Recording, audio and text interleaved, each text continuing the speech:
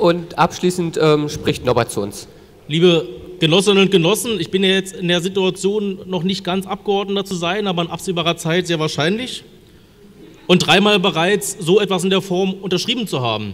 Nämlich 2008 die Verpflichtung Mandatsträgerspende, da bin ich nachgekommen, der Matthias Osterbrock jetzt schon die Einzugsermächtigung hat. Ich habe noch nicht mal ein Mandat, aber er könnte jetzt eigentlich schon einziehen. Hat auch was mit Vertrauen zu tun, ich glaube, er macht es mal einfach nicht. Zweitens, als Jugendverband 2008 gefragt wurde, wollte für diesen vorderen Pool der Liste zwei Kandidatinnen oder einen Kandidaten nominieren und der Jugendverband nach einiger Diskussion gesagt hat, ja, wir wollen, kam die Initiative von Katja Dahme und mir, die damals gesagt haben, sie stehen zur Verfügung, gesagt haben, wenn das der Jugendverband macht, dann wollen wir klar wissen, was von uns eigentlich erwartet wird und was wir auch zurückgeben können. Wir haben damals was beschlossen, auf das wir beide verpflichtet sind, was für mich jetzt auch gilt wenn ich sozusagen in der nächsten Woche nachgerückt sein sollte, das ist viel härter, als was alles diskutiert wird. Das ist viel härter, als was hier alles diskutiert wird. Und das sind Sachen, die haben mit der Freiheit des Mandats überhaupt nichts zu tun, aber mit den Ansprüchen von demokratischen Organisationen an ihre Repräsentanz.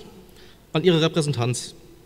Und das dritte Mal war jetzt zu den Bundestagswahlen. Und ich muss ehrlich sagen, ich habe mich sehr wohl gefühlt in dem Gespräch mit Andrea Jolige über die Erwartungen und die Anforderungen, als ich auch dieses Papier, wie Diana, wie Harald, wie Thomas, andere auch unterschrieben haben, weil für mich klar war, was an mich erwartet wird, so dass man da ziehen sollte und ich gleichzeitig auch sagen konnte, was ich glaube, was geht, was nicht geht, wie ich mir das vorstelle. Genau diese Form auch von Vorbereitung von Kandidatinnen und Kandidaten vor Wahlen und vor dem, was folgt, ist, glaube ich, elementar und sie ist dringend notwendig für einen Demokratisierungsprozess der Partei.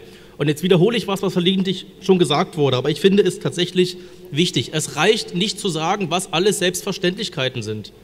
Wir dachten alle, dass es selbstverständlich sei, dass Ministerinnen und Minister auf ihre Mandate verzichten werden. Das dachten Ministerinnen und Minister nicht. Darüber lässt sich trefflich streiten, aber es war offenbar eben nicht selbstverständlich. Da gab es offenbar ein Missverständnis. So etwas möchte man vor Wahlen in Zukunft bitte vorher klären. Wir dachten alle, dass es selbstverständlich ist, dass man MFS-Bestandteile in der eigenen Biografie offenlegt.